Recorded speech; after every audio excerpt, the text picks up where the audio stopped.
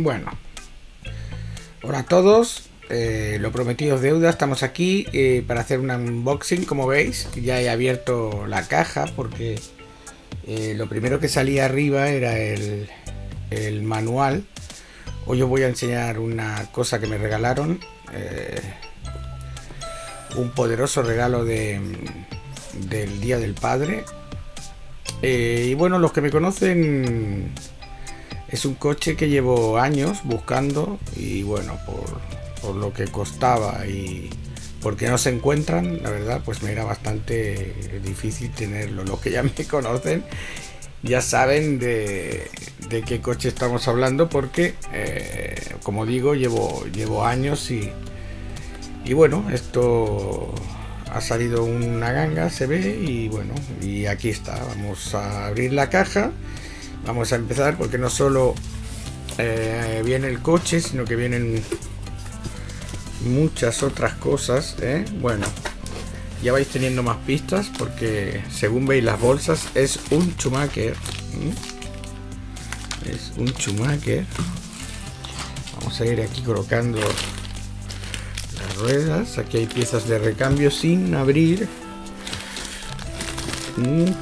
Neumáticos muy grandes, madre mía.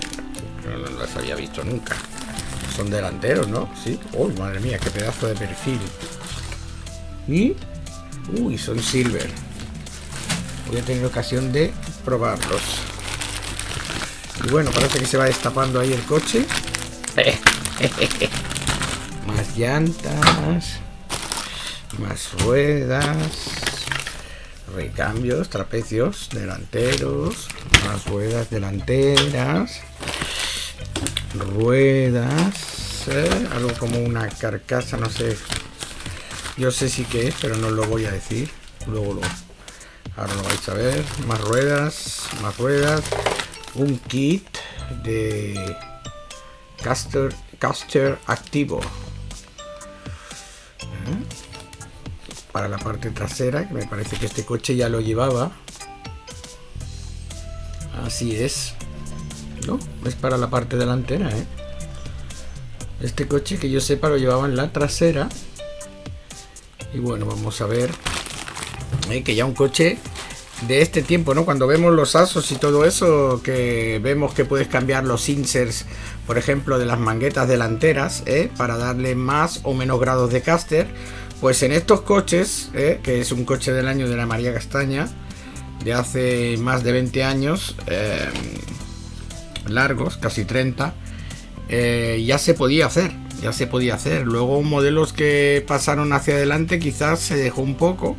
Yo no sé, tampoco no conozco demasiado la evolución, ahora la vamos a conocer, porque este no este no es el primero que vamos a presentar, porque bueno, Luego nos han regalado otro que es una verdadera reliquia. Y bueno, ese más que nada os lo enseñaré. No haremos unboxing porque se venía, venía totalmente solo. Este está prácticamente nuevo aquí. ¿eh? Los inserts de los que hablábamos. Torretas. Más ruedas. Madre mía. Madre mía. Madre mía. Hola, las bolas del diferencial. Madre mía, si parecen canicas. Oh, oh, madre mía. No había visto. No, bueno, sí que las había visto, pero no me acordaba de que eran así de gordas. ¿Eh?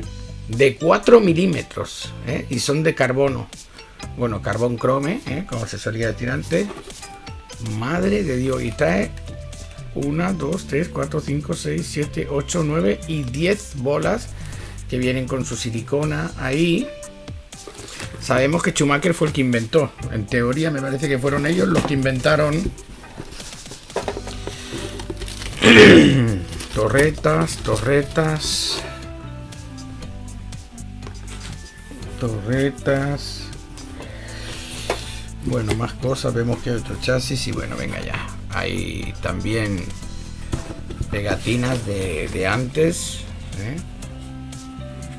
de las antiguas. Trinity y LRP son marcas que ahora la verdad no uso. Bueno, estas las vamos a dejar aquí en la caja y vamos a sacar... Veo que hay una corona, hay un chasis.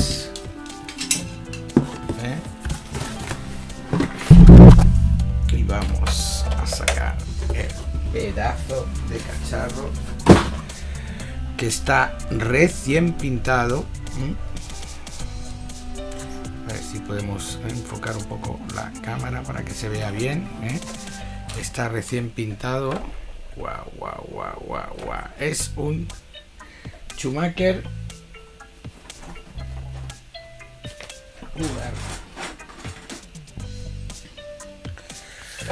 2095 Team. Con el manual original. Bueno, vemos que viene un poco desmontado. El Eliper viene sin la corona montada. Es un slipper que lo ves y no te das cuenta, no parece que hay un slipper porque va encajado dentro del otro y no se ve. Es como, hace como caja, hace como, ¿eh? como si fuera hace y se encaja de esta manera y dentro van los disquitos. Lo sé por antiguamente, faltaría, lo que le falta es la tapa. Tiene unos palieres ahí que en este caso no son los extensibles. El otro traía los extensibles. No es hasta que cierto punto molan más los extensibles. Pero bueno, sí. Ha traído bastante repuesto como... Porque se ve... Uy, que un poco da la sensación de... De frágil. De frágil, no me acuerdo bien ¿eh? pero veis que coge así en vez de estar eh, digamos la mangueta en el centro sale la mangueta y se va para allá. Miraremos el nuevo activo caster este a ver cómo narices funciona aquí lo decía veis que en vez de estar la mangueta en medio está en una punta y el pasador va de la punta y pasa por la mangueta. Es una cosa extraña. Bueno, pero es un coche que siempre me encantó. Decir que está recién pintado. ¿eh? Brutal, brutal. Brutal. Wow. Falta el alerón, que el alerón no está. ¿Eh? Haremos una revisión un poco de todo. A ver. Bueno, el diferencial parece que tiene un buen tacto pero bueno será una de las primeras cosas que abriremos ¿eh? parece no tener silicona en los amortiguadores vamos a ver y esto sí que es espectacular ¿eh? vemos que tenemos otro chasis en carbono este que está puesto también es de carbono o sea que son dos chasis sí, un poco comido de full, pero parece entero. La batería va aquí metida, si no mal recuerdo así. Va ahí debajo. Y en estas dos canastitas, que es lo que hemos visto, ¿eh? en una va el receptor ¿eh? y en la otra va el variador. el servo iría ahí metido vemos que una pieza que se ha quedado en la caja es la otra pieza que aguanta el servo tiene eh, como os dais cuenta eh, un esqueleto eh, tiene un esqueleto un doble chasis un chasis y subchasis lo que más me llama la atención de estos modelos como de este y de su predecesor después que tienen salvaservos regulable. Una pasada.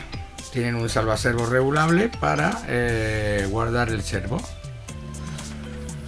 Pues nada, aquí está. En próximo vídeo lo vamos a, ver correr. ¿Mm? No sé si lo haremos correr no sé si lo haremos correr en, el astro de terraza o ya lo haremos correr eh, en el circuito de cómo se llama de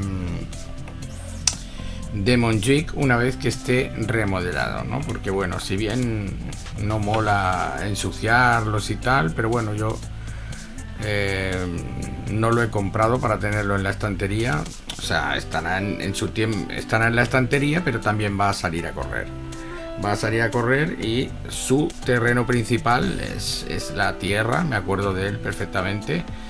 Yo he corrido eh, con Schumacher durante muchos años. ¿eh?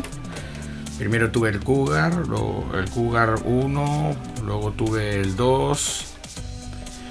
¿eh? Y antes de comprar este, este, yo, este, siendo sincero, no lo llegué a tener nunca.